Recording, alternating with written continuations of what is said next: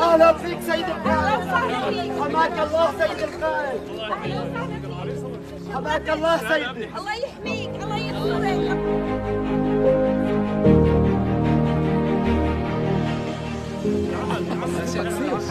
بس كمان ما ناخذ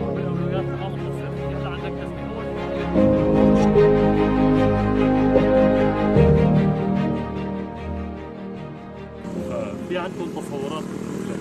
محلات ثانية عم يسالون قالوا ممكن نعمل زراعات بعض ممكن يزرع الخضرة.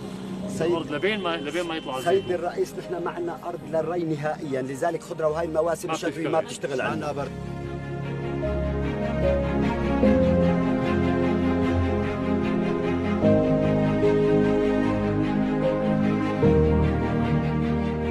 هلا نحن هذه القرى بنتمنى نستبدل اهدافها طالما صار عندنا المصاب الكبير هذا.